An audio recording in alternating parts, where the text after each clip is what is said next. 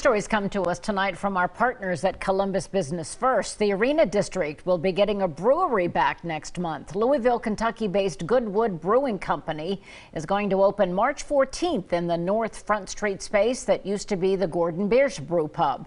The brewery will feature everything from light lagers to hazy IPAs on the menu. Goodwood's food menu, Southern fare, dishes like blackened catfish, shrimp, and grits, and fried green tomatoes. There will also be burgers, smoked meats, salads, and some other entrees.